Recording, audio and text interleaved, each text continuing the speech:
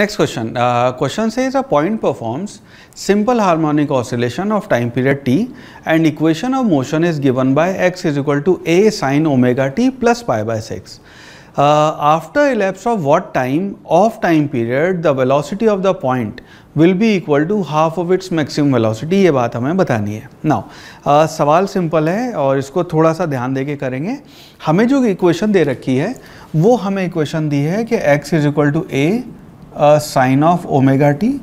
plus pi by six now again ये this is my habit अपने को सवाल में छोटा ए दिया हुआ है बट कई बार छोटा है uh, इस बात पे कन्फ्यूज़न हो जाता है कि वो आपका एम्पलीट्यूड है या फिर एक्सेलेशन तो मेरा स्टैंडर्ड तरीका ये है कि जहाँ भी होएगा एम्पलीट्यूड बड़ा लिखेंगे छोटा ए मतलब एक्सेलेशन है। ऑलराइट सो so उसको I will convert alright so ये आपकी एक्सेलेशन है। अब हमें बताना है सॉरी uh, ये आपकी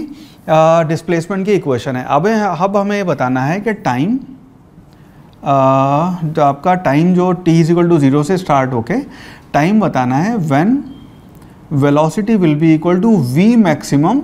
divided by two ये वैल्यू हो जाए। नाउ हमें बात पता है कि वी मैक्सिमम जो होती है उसकी वैल्यू होती है ए ओमेगा राइट सो हमारी वेलोसिटी हो जानी चाहिए ए ओमेगा बाय टू तो वेलोसिटी के लिए इसको डिफ्रेंशिएट कर लेते हैं। सो so, आपकी जो वेलोसिटी आएगी वेलोसिटी उसकी वैल्यू हो जाएगी इसको जब हम डिफ्रेंशिएट करेंगे so that will be equal to A omega cos of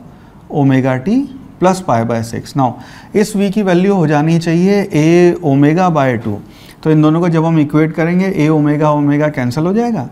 so so ये बचेगा आपका cos of omega t plus pi by six will be equal to one by two now cos की कोई भी वैल्यू वन बाय टू है, इसका मतलब क्या है? वो थीटा जो भी आपका एंगल है, उसकी वैल्यू होनी चाहिए pi by six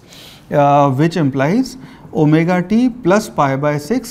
should be equal to sorry ये वैल्यू होनी चाहिए एम्प्लाइज आपका कॉस थीटा होएगा पाई बाय थ्री है सो वैल्यू हो जाएगी आपकी pi by three sixty degree का एंगल आपका हाफ़ होता है सिक्सटी सिक्सटी डिग्री के का कॉस थीटा आपका हाफ़ होता है। सो so, ये वैल्यू हो जाएगी